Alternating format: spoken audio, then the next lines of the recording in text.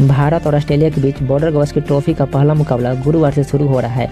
नागपुर में होने वाले इस मैच के लिए भारतीय टीम का चयन कप्तान रोहित शर्मा और कोच राहुल के लिए आसान नहीं होगा। यह सीरीज़ विश्व टेस्ट चैंपियनशिप के लिहाज से भी बेहद अहम है। ऐसे में दोनों टीमें चाहेगी कि जीत के साथ इस सीरीज़ का आगाज़ किया जाए। कप्तान रोहित शर्मा लंबे समय के बाद टेस्ट क्रिकेट खेल रहे हैं। ऐसे में टीम का चयन करना उनके लिए आसान नहीं होगा। श्रेयस एयर की चोट और सूर्य कुमार यादव, शुभम गिल की शानदार फॉर्म में कप्तान रोहित को चिंता में डाल दिया है। वहीं कुलदीप यादव की शानदार वापसी ने स्पिनर गेंदबाजी में भी कड़ा मुकाबला कर दिया है। अब जडेजा और अश्विन के साथ तीसरे स्पिनर की जगह के लिए अक्षर पटेल और कुलदीप यादव के बीच कड़ा मुकाबला होगा। कप्तान रोहित शर्मा को पारी की शुरुआत करना तय है, लेकिन उनके जोड़ीदार के रूप में उप कप्तान राहुल और शुभम गिल के बीच कड़ा मुकाबला होगा। पिछली सीरीज़ में गिल और राहुल ने ही पारी की शुरुआत की थी, जहाँ गिल शानदार फॉर्म में है तो वही उप कप्तान राहुल को भी टीम ऐसी बाहर नहीं किया जा सकता है। ऐसे में रोहित और राहुल के पारी की शुरुआत करने की संभावना अधिक है।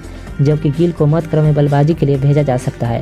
हालाँकि वहाँ भी उनके और कुमार यादव के बीच कांटे की टक्कर होगी। मत क्रम में कुमार यादव को जगह दी जा सकती है, लेकिन गिल के पास टेस्ट मैच का अनुभव है और पिछली सीरीज़ में ही उन्होंने शतक लगाया था। वहीं सूर्य कुमार ने अब तक कोई टेस्ट मैच नहीं खेला है। चेतेश्वर पुजारा का तीसरे नंबर पर खेलना तय है। वहीं चौथे स्थान पर विराट कोहली बल्लेबाजी करेंगे। पाँचवें नंबर पर श्रेयस अय्यर की जगह पक्की थी, लेकिन उनके चोटिल होने के बाद सूर्य कुमार यादव या शुभम गिल इस स्थान पर खेल सकते हैं। ऋषभ पंत के चोटिल होने के बाद टीम में विकेट कीपर की जगह भी खाली है।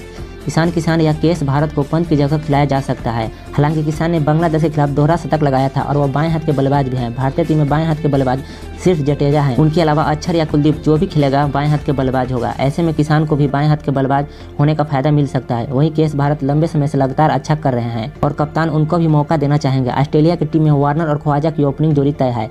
तीसरे नंबर पर लाबुसियन और चौथे नंबर पर स्मिथ खेलेंगे। गेंदबाजी में कप्तान कमिंस के साथ स्टार्क और नाथन लियोन की जगह पक्की है। दोस्तों, अगर आप भी क्रिकेट देखना पसंद करते हैं तो हमारे इस यूट्यूब चैनल अपना कब कप ज़रूर सब्सक्राइब करिएगा।